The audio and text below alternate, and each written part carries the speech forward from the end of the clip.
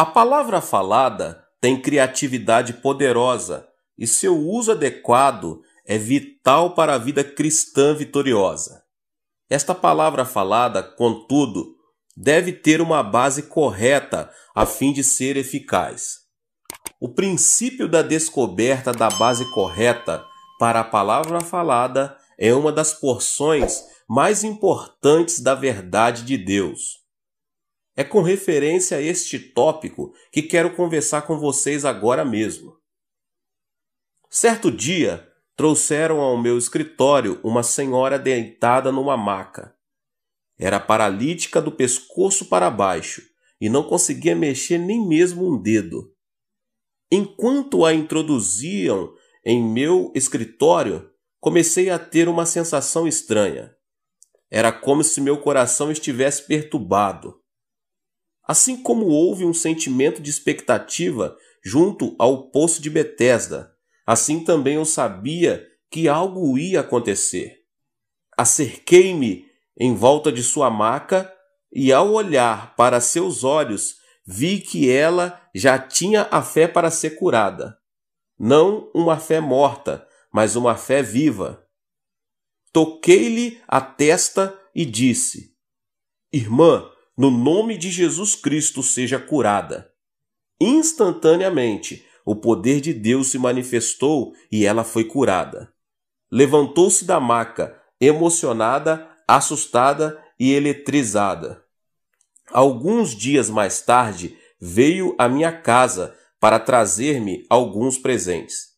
Ao entrar em meu escritório, perguntou: Será que eu podia fechar a porta? Sim, respondi. Feche a porta. Então ela se ajoelhou perante mim, ainda espantada de sua cura, e disse: Senhor, por favor, revela-te a mim. És tu o segundo Jesus encarnado? Sorri, querida irmã, você sabe que tomo três refeições por dia, vou ao banheiro e durmo todas as noites. Sou tão humano quanto você, e a única maneira pela qual sou salvo é por intermédio de Jesus Cristo. Esta senhora tinha recebido uma cura tão miraculosa que a notícia se espalhou rapidamente. Logo depois, uma senhora rica veio à minha igreja, também trazida em uma maca. Tinha sido cristã por muito tempo e servido como diaconisa de sua igreja.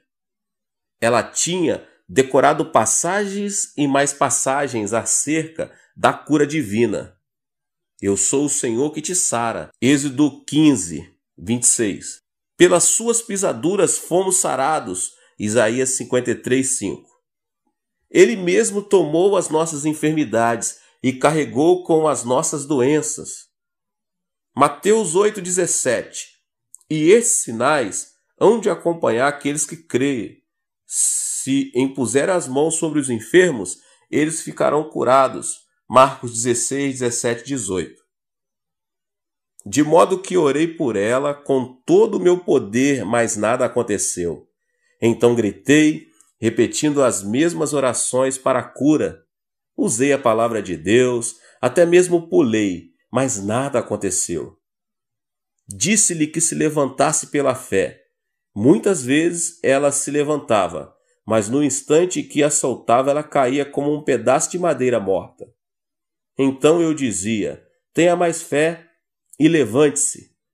Ela se levantava de novo e de novo caía, então me dizia que ela tinha toda a fé que há no mundo, mas sua fé não funcionava. Fiquei muito deprimido e logo ela começou a chorar. Ela dizia: Pastor Chu, o Senhor tem preconceitos contra mim. O Senhor amava tanto a outra mulher que a curou, mas o Senhor realmente não me ama, de modo que ainda estou doente. O Senhor tem preconceitos. Irmã, respondi, eu fiz tudo. Você mesma viu.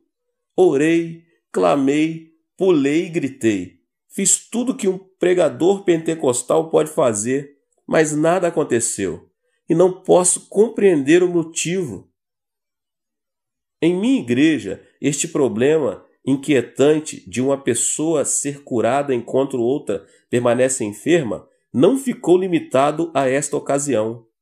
Evangelistas de fama mundial têm vindo à minha igreja e entusiasticamente dizem: todos vão ser curados. Todos. Pregam a palavra de fé e muitos são curados. Depois, estes evangelistas se vão, levando toda aquela glória, e eu fico com a incumbência de tratar dos doentes que não foram curados. Estes vêm a mim, desanimados, abatidos e desesperados, queixando-se: não fomos curados. Deus desistiu de nós, estamos completamente esquecidos. Porque devemos lutar para vir a Cristo e crer. Aflijo-me oro e choro. Por que, Pai? Por que isto é assim? Deus, por favor, dá-me a resposta, uma resposta clara. E ele o fez, de modo que agora gostaria de partilhar com você esta resposta e algumas coisas que me levaram a receber esta compreensão. As pessoas pensam que podem crer na palavra de Deus, e podem, mas falham em fazer a diferença entre a palavra de Deus, que dá o conhecimento geral a respeito de Deus, e a palavra de Deus que ele usa para conceder fé acerca de circunstâncias e problemas específicos. É este último tipo de fé que produz milagres. No grego, há duas palavras diferentes para a palavra: logos e rema. O mundo foi criado pela palavra logos de Deus. Logos é a palavra geral de Deus, que se estende desde o livro de Gênesis ao Apocalipse, pois todos estes livros falam acerca de Jesus Cristo, direta ou indiretamente. Ao ler a palavra Logos do Gênesis ao Apocalipse, a pessoa pode receber todo o conhecimento que necessita a respeito de Deus e de suas promessas mas pela simples leitura a pessoa não recebe fé. A pessoa recebe conhecimento e compreensão acerca de Deus, mas não recebe fé. Romanos 10, 17 mostra-nos que o material usado para edificar a fé é mais do que simples leitura da palavra de Deus. A fé vem pela pregação e a pregação pela palavra de Cristo. Nesta passagem, palavra não é logos, mas rema. A fé, especificamente falando, vem pela pregação da palavra rema. O doutor Ironside define em seu lexo grego a palavra logos, a palavra dita de Deus, e rema, a palavra dizente de Deus. Muitos eruditos definem a ação de rema como se o Espírito estivesse tomando alguns versículos da palavra de Deus e vivificando com eles uma determinada pessoa. Eis minha definição de rema. Rema é uma palavra específica, dado a uma pessoa específica em uma situação específica. Certa vez na Coreia, uma senhora provia grandes concentrações para a juventude na montanha de Sangar. Essa senhora tinha um grande ministério. Quando se punha de pé e pregava, as pessoas viam à frente e caíam ao solo como se tivessem sido atingidas pelo raio, tocadas pelo poder do Espírito. Muitos eram os jovens que participavam das suas reuniões. Nesta ocasião, essa senhora realizava reuniões juvenis em Sangá, e milhares de jovens compareciam todas as noites. Durante a semana da campanha choveu muito e todos os rios transbordaram. Um grupo de jovens desejava assistir ao culto certa noite. Chegando à margem do rio, perceberam que as reuniões estavam sendo realizadas no povoado do outro lado. Mas o rio estava muito cheio e não havia pontes nem barcos por perto. Os jovens se desanimaram. Três moças disseram: por que simplesmente não entramos no rio? Pedro andou sobre as águas, e o Deus de Pedro é o nosso Deus, e o Jesus de Pedro é o nosso Jesus, e a fé que Pedro tinha é a nossa fé. Pedro creu, e devemos fazer o mesmo. Vamos andar sobre o rio. O rio estava muito cheio e a correnteza estava forte. As três moças se ajoelharam, deram-se as mãos e citaram a Escritura, mencionando Pedro caminhando sobre as águas. Disseram a todos que iriam repetir o milagre. À vista de todos os demais jovens, entraram resolutamente nas águas. Afundaram-se imediatamente. Três dias mais tarde, seus corpos foram encontrados flutuando no mar. Esse triste incidente teve repercussão em toda a Coreia.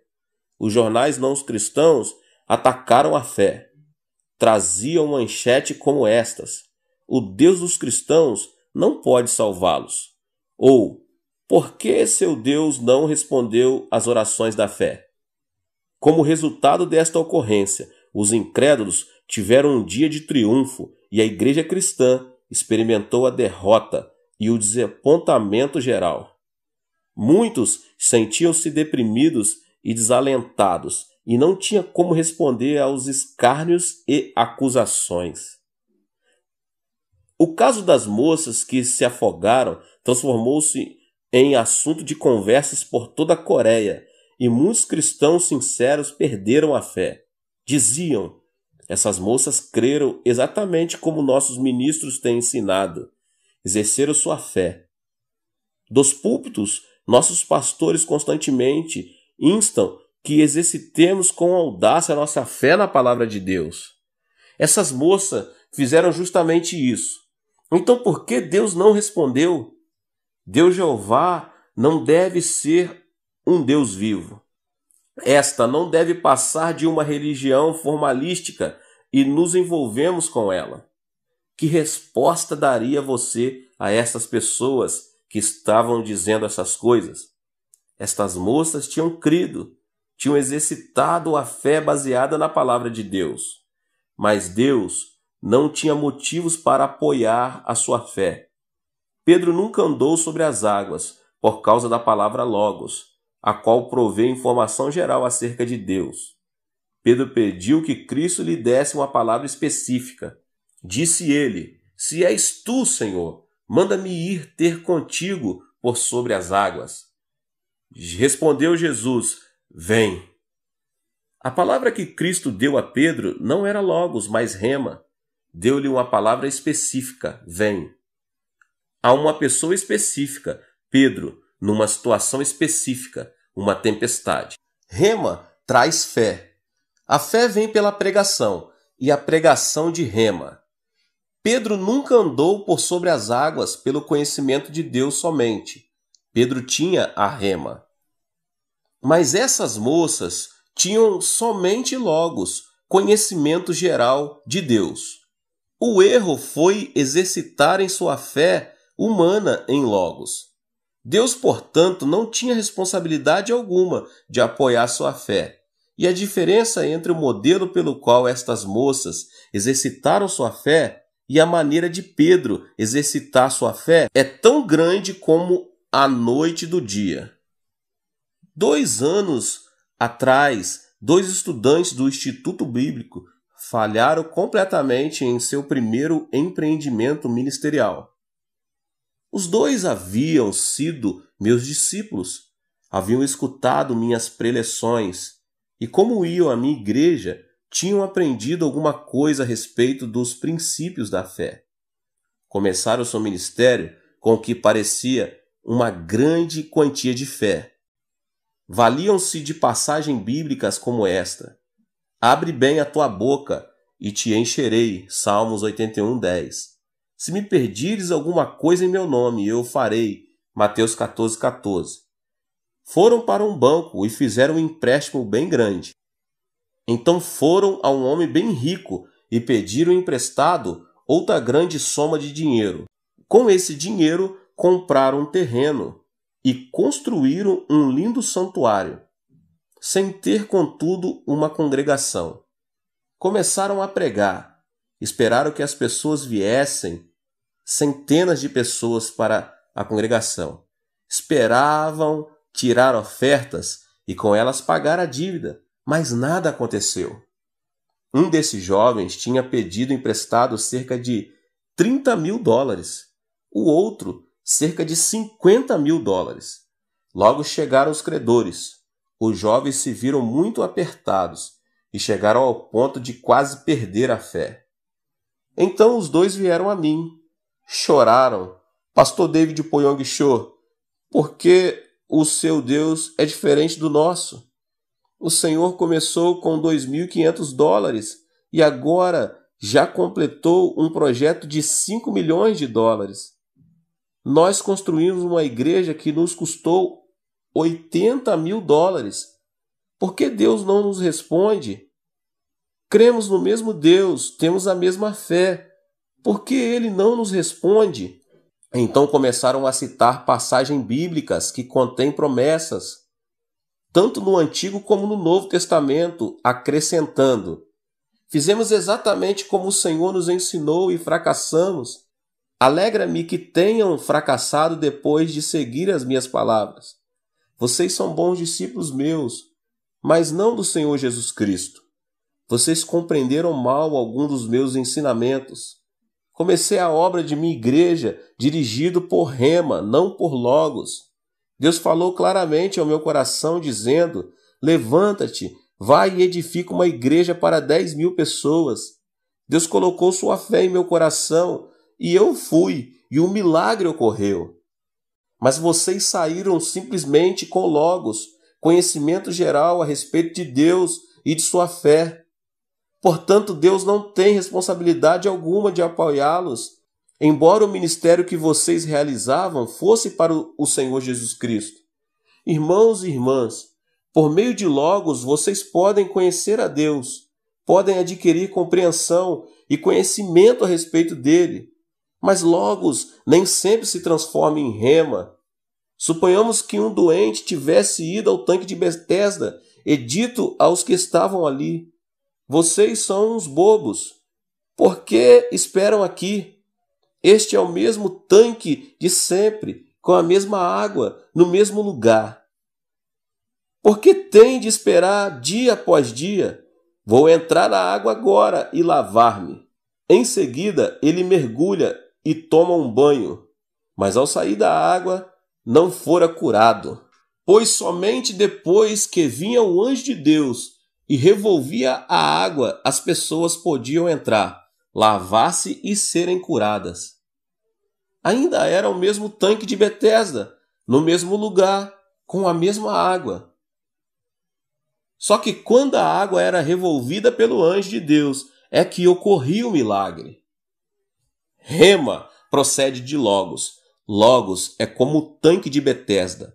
Você pode ouvir a palavra de Deus e pode estudar a Bíblia, mas somente quando o Espírito Santo vem e aviva uma passagem ou passagens das Escrituras ao seu coração, queimando-as em sua alma e dando-lhes a conhecer como aplicá-las diretamente à sua situação específica, é que logo se transforma em rema. Se você nunca tem tempo de esperar na presença do Senhor, então o Senhor nunca confirmará a palavra de que você tanto necessita em seu coração.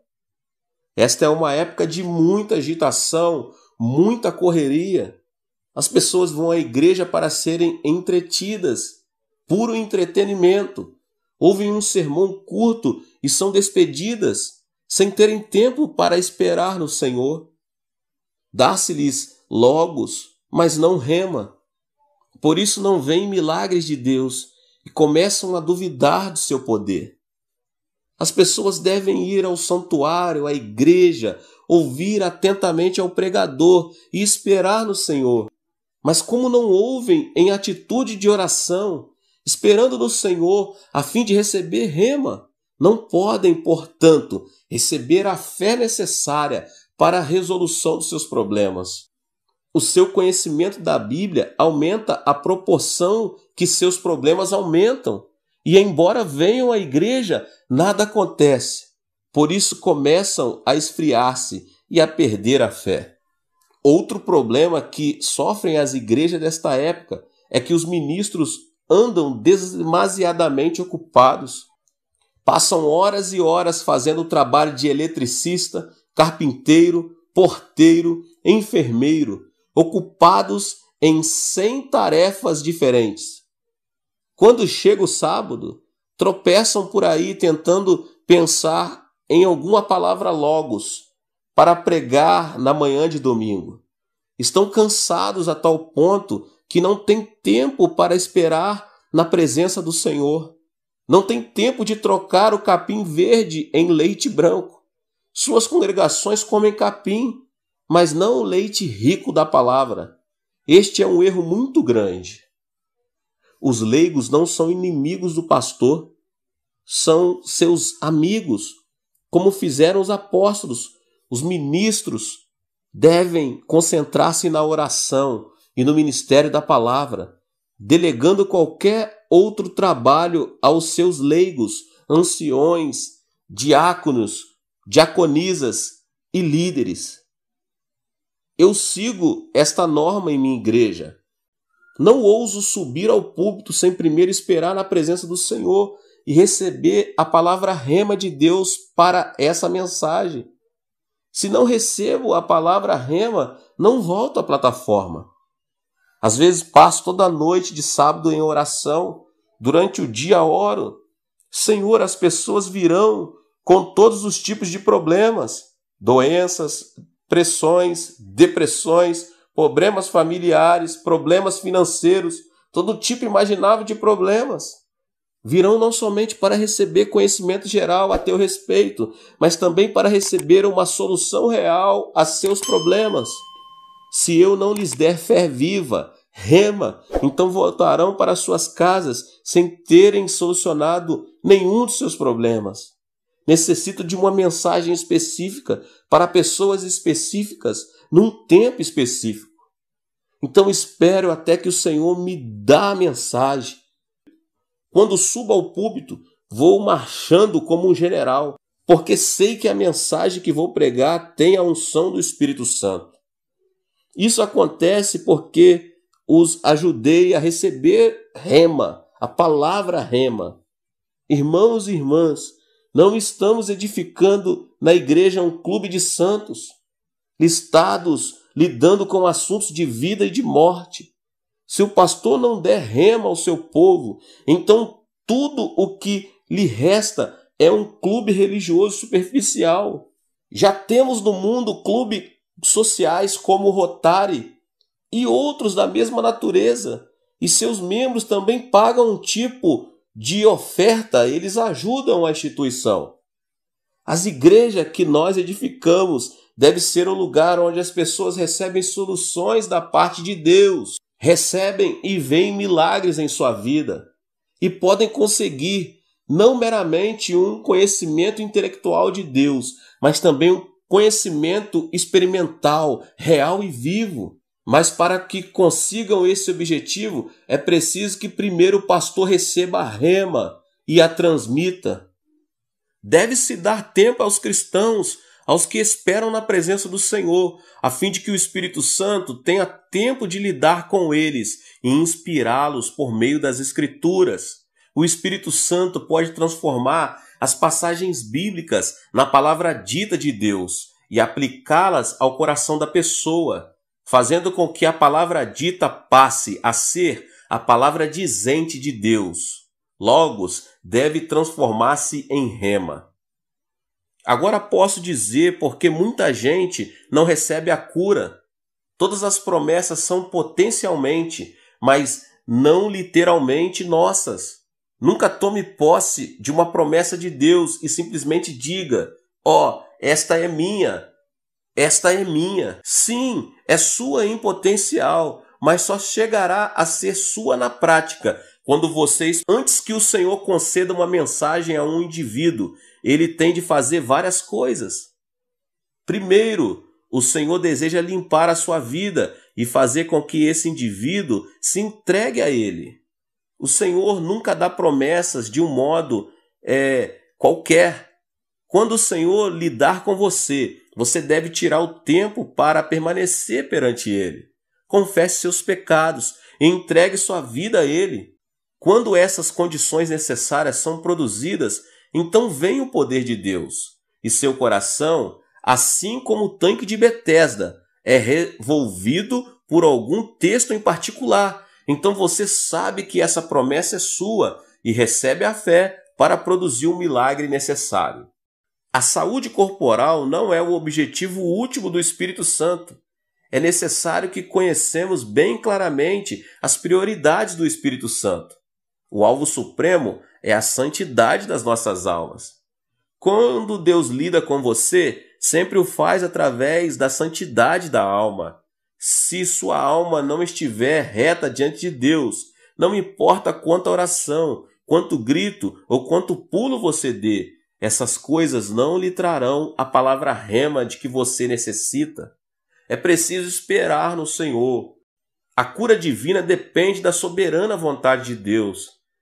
Às vezes uma pessoa recebe uma cura instantânea, ao passo que outra precisa esperar um pouco mais. Um dos mais queridos irmãos diáconos de nossa igreja caiu doente. Este diácono deu tudo ao Senhor, amando e o servindo de um modo espantoso. Todos viram isso. Disseram-lhe que tinha um tumor e que os médicos desejavam operar. Mas todos em minha igreja sabiam que o Senhor ia curá-lo, pois ele era um grande santo e de grande fé. Este era o raciocínio deles. Orei para a cura dele. Então tinham uns 40 mil membros e todos eles oravam, atacando o trono da graça, e esse diácono reivindicou a cura. Mas nada aconteceu, ele piorava cada vez mais. Afinal, sangrava tanto que foi levado ao hospital e sofreu uma intervenção cirúrgica. Muitos de nossos membros estavam preocupados e reclamavam: Onde está Deus? Porque Deus o está tratando dessa maneira. Mas louvei a Deus, pois eu sabia que tinha algum propósito específico no que estava acontecendo. Ao ser hospitalizado, ele começou a pregar o Evangelho a todos com quem entrava em contato. Em breve, todo o hospital sabia existir um Jesus vivo e que seu representante estava ali naquele hospital. Médicos, enfermeiras e pacientes eram salvos todos os dias. Então os membros de nossa igreja se alegraram, dizendo: Louvado seja Deus! Foi melhor que ele se hospitalizasse do que tivesse recebido a cura instantaneamente. Deus mostrou que a sua prioridade era a cura eterna das almas e não a cura terrena do corpo físico. Onde há dor e sofrimento, temos a tendência de pedir libertação, mas não devemos fazer isso. Se o seu sofrimento pode resultar em graça redentora, ou se seu sofrimento torna-se o canal de Deus para o fluxo da graça redentora de Deus, então seu sofrimento foi enviado por Deus. Se, entretanto, seu sofrimento torna-o inválido e começa a destruí-lo, então procede de Satanás, e você deve orar a fim de livrar-se dele. Contar-lhe-ei agora um caso no qual Deus libertou as pessoas de seu sofrimento. Aconteceu a Guerra da Coreia quando 500 ministros foram capturados e imediatamente fuzilados, e duas mil igrejas destruídas. Os comunistas eram cruéis para com os pastores, a família de certo ministro foi capturada em Incheon, na Coreia, e os líderes comunistas submeteram-nos aos que chamavam de Tribunal do Povo. Os acusadores diziam: Este homem é culpado de cometer este tipo de pecado, e por este pecado deve ser castigado. A única resposta que recebiam era um coro unânime de voz dizendo: Sim, sim. Desta vez cavaram um grande buraco colocaram o pastor, sua esposa e vários de seus filhos dentro dele. Então o líder falou: Todos estes anos o Senhor tem desviado as pessoas com a superstição da Bíblia. Se desejar agora tratar-se perante o povo aqui reunido e arrepender-se da sua má conduta, então o Senhor, sua esposa e seus filhos serão libertos. Mas se persistir em suas superstições Toda a sua família vai ser enterrada viva. Tome sua decisão. Todos os seus filhos começaram a chorar, dizendo: Pai, pai, pense em nós. Imagina a situação desse homem. Se você estivesse em seu lugar, o que teria feito? Sou pai de três filhos e chegaria quase a preferir ser lançado ao fogo do inferno a ver meus filhos serem mortos. Este pai estava profundamente abalado. Levantou a mão, dizendo: Sim, sim, faloei, vou denunciar, minha. Mas antes de poder terminar a frase, a esposa tocou-lhe o lado, dizendo: Diga não. E dirigindo-se aos filhos, essa valente mulher disse: Calem-se, filhos. Esta noite vamos jantar com o Rei dos Reis e Senhor dos Senhores. Então começou a cantar o hino no celeste porvir. Seus filhos e marido acompanharam no cântico enquanto os comunistas começaram a enterrá-los. Logo as crianças estavam enterradas, mas até que a terra lhes chegasse ao pescoço, continuavam a cantar e o povo a olhar. Deus não os livrou, mas quase todos que viram a execução tornaram-se crentes. Muitos são membros de minha igreja. Mediante seu sofrimento fluiu a graça da redenção. Deus enviou seu único filho a fim de ser crucificado na cruz, para que o mundo pudesse ser salvo e redimido. Esse é o objetivo último de Deus, a redenção de almas. De modo que quando a pessoa desejar a cura divina ou uma resposta dos altos, focalize a vista através das lentes do último objetivo, a redenção de almas. Se perceber que seu sofrimento realiza mais redenção do que sua cura, então não peça libertação, mas Deus lhes dê força a fim de perseverar. Nem sempre é fácil fazer distinção entre o sofrimento ocasionado por Satanás, do qual Deus deseja livrá-lo, e o sofrimento que Deus pode usar a fim de fazer com que o fluxo da graça redentora continue a fluir. A fim de tomar esse tipo de decisão, é preciso que a pessoa espere no Senhor e conheça a sua vontade. Não se desanime e ande à procura de oração de um evangelista famoso após outro. Mas, mediante a oração, jejum e fé, deixe que Deus lhe apresente sua vontade. Quando o Espírito Santo aviva logos da Escritura ao seu coração, concede-lhe uma fé miraculosa. Você sabe que a passagem bíblica não mais pertence à palavra dita de Deus, mas transforma-se instantaneamente na palavra dizente de Deus para você. Então você deve firmar-se nessa palavra, seguir em frente e praticá-la, embora não possa ver nada. Embora não possa tocar nada, embora na sua vida inteira esteja totalmente às escuras, uma vez que você recebe a palavra rema, não tenha medo. Siga em frente e ande por sobre as águas, e verá o milagre. Tenha cuidado, entretanto, em não adiantar-se a Deus. Muitas pessoas andam na frente de Deus, assim como o fez Paulo em sua vontade de levar o evangelho de Cristo.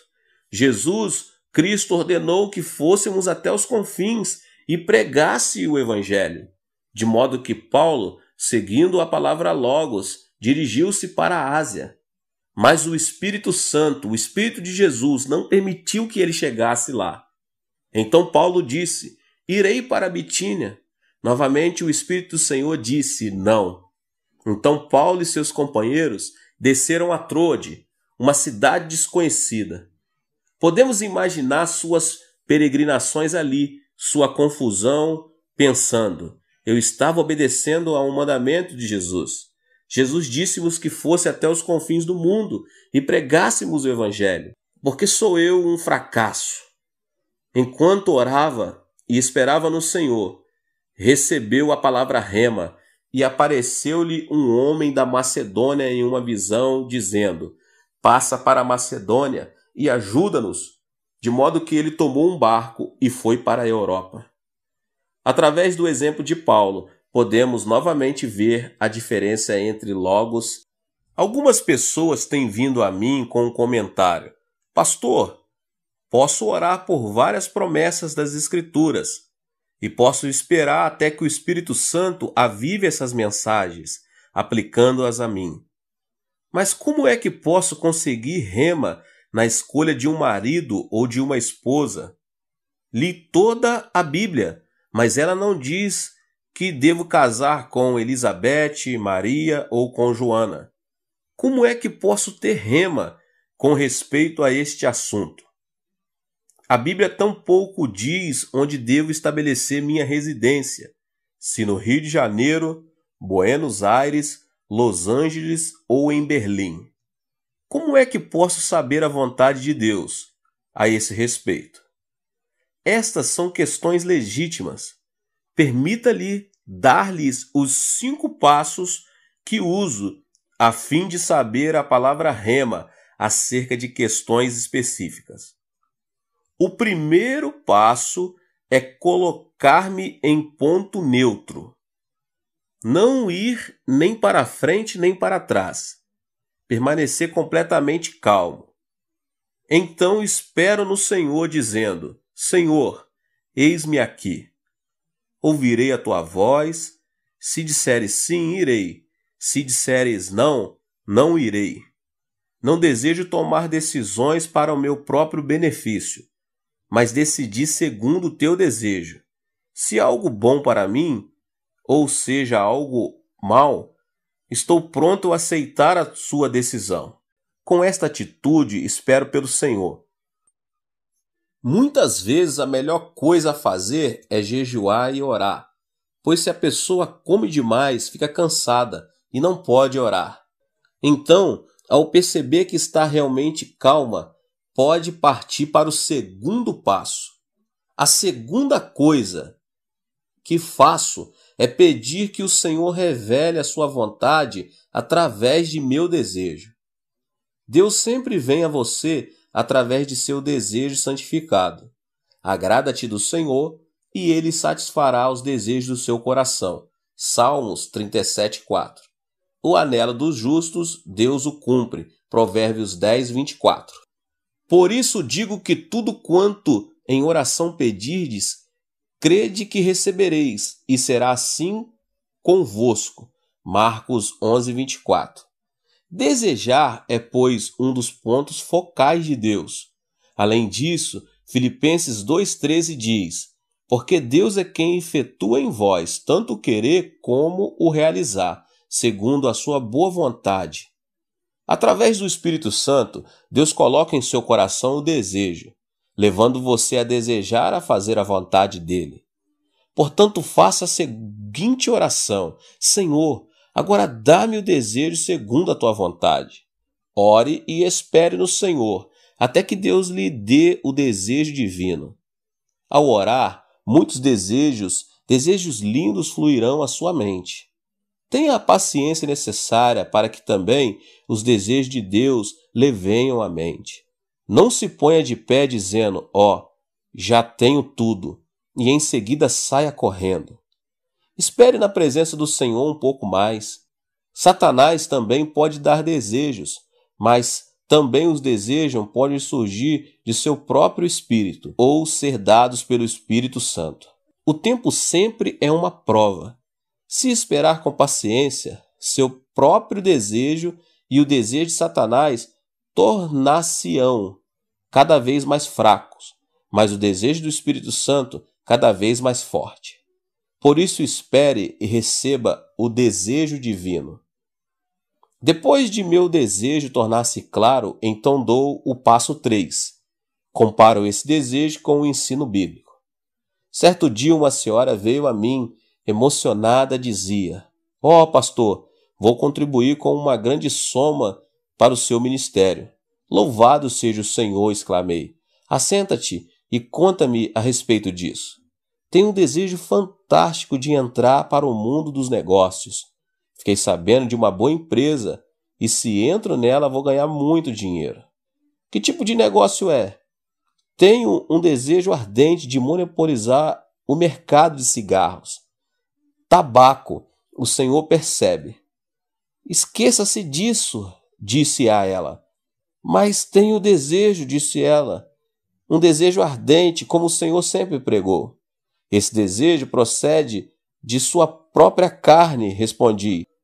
Já examinou a Bíblia a fim de verificar se o que estará fazendo é certo? Não. Seu desejo deve ser aprovado pelas Escrituras. Instruía.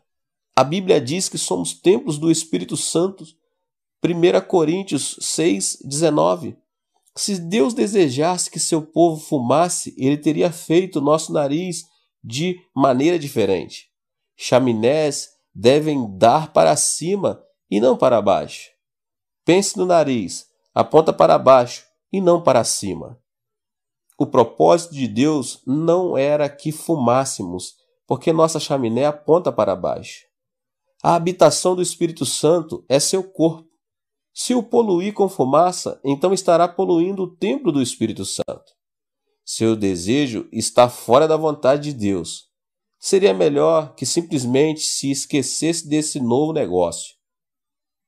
Certo homem veio a mim dizendo: Pastor, fiz amizade com uma linda mulher, uma viúva. Ela é terna, linda e maravilhosa. Ao orar, tenho um desejo ardente de me casar com ela. Mas também tenho minha mulher e filhos. Olha, respondi, esqueça-se disso, porque tal coisa procede do diabo. Oh, não, não, não é do diabo, discordou ele. Quando orei, o Espírito Santo me disse ao coração que minha esposa não é exatamente o tipo de costela que se encaixa ao meu lado. Minha esposa é sempre um espinho na carne. O Espírito Santo falou dizendo que essa viúva é minha costela perdida, que se encaixará perfeitamente ao meu lado. Disse-lhe eu: isso não procede do Espírito Santo, vem do diabo. Muitas pessoas cometem esse tipo de erro. Se orarem contra a palavra escrita de Deus, então o diabo falará. Disse-lhe eu: Isto não procede do Espírito Santo, isso vem do diabo. Muitas pessoas cometem esse tipo de erro. Se orarem contra a palavra escrita de Deus, então o diabo falará. O Espírito Santo jamais contradirá a palavra escrita de Deus. Esse homem não me deu ouvidos, divorciou-se de sua mulher e casou-se com a viúva. Agora é o mais infeliz de todos os homens. Descobriu que sua segunda costela era ainda pior do que a primeira. Todos os nossos desejos devem, portanto, serem examinados à luz das Escrituras. Se você não possuir a autoconfiança de fazer isso, então vá ao seu ministro ou pastor. Depois de examinar o desejo à luz da palavra, dos ensinamentos de Deus, então eu estou pronto para o quarto passo: pedir um sinal de Deus, tirado de minhas circunstâncias. Se Deus verdadeiramente falou ao coração, então poderá dar-lhe um sinal no mundo exterior. Quando Elias orou sete vezes pedindo chuva, recebeu um sinal do céu. Uma mancha do tamanho do punho de um homem, uma nuvem apareceu. Gideão também pôde servir-nos de exemplo, pois ele também pediu um sinal. Deus sempre me mostrou um sinal de minhas circunstâncias. Às vezes esse sinal era muito pequeno, mas ainda era um sinal. Depois de receber o sinal, então, o quinto passo e final. Oro até conhecer o horário de Deus. O horário de Deus é diferente do nosso. A pessoa deve orar até que tenha paz real, pois a paz é como o árbitro. Depois de orar, se ainda sentisse inquieta, então o horário não era certo. Significa que o sinal ainda está vermelho. Portanto, continue a orar e a esperar. Quando o sinal passar de vermelho para o verde, chegar-lhe-á a paz ao coração. Então você deve sair correndo. Vá, portanto, com velocidade total, com a bênção de Deus, com a rema de Deus. Milagre após milagre lhe seguirão. Em minha vida cristã, sempre tenho seguido estes cinco passos, até que Deus tem confirmado essa maneira de caminhar com sinais e milagres. Estes resultados devem mostrar claramente a diferença entre logos e rema. No futuro, você não precisa ficar confuso acerca das promessas de Deus. Quantidade alguma de reivindicação, trabalho, pulos ou gritos o convencerá. Deus mesmo o convencerá, dando-lhe o coração a sua fé. A versão da Almeida de Marcos 11, 22 23 diz que se a pessoa tiver a fé em Deus, poderá então ordenar um monte que se atire no meio do mar. O texto grego, entretanto, diz que a pessoa deve ter a fé de Deus. Como é que se pode ter a fé de Deus? Ao receber rema, a fé que lhe é dada não é sua, foi-lhe concedida por Deus. Depois de receber essa fé que vem do alto, então pode ordenar que montanhas sejam removidas. Sem receber a fé de Deus, a pessoa não pode fazer tal coisa. Se não for por outra razão, você deve estudar cuidadosamente a Bíblia, desde o Gênesis ao Apocalipse, a fim de proporcionar ao Espírito Santo o material de que ele necessita para operar. Quando a pessoa espera no Senhor, o Espírito Santo concede-lhe essa fé. E ao agir consoante a essa fé, grandes milagres seguirão em seu ministério e em seu lar. Portanto, espere no Senhor, jamais será isso um desperdício de tempo. Quando Deus lhe fala ao coração, ele pode, e em segundo, fazer coisas muito maiores do que você poderia fazer no ano todo. Espere no Senhor e verá grandes coisas realizadas por seu intermédio. Deus te abençoe. Esta foi mais uma palavra do pastor David Ponhong Show. Se inscreva aqui no canal, ative o sininho das notificações para você não perder nenhuma das palavras que têm sido ministradas aqui. Deixe o seu like e não esqueça de compartilhar com as pessoas que você mais ama. Te vejo nos próximos vídeos.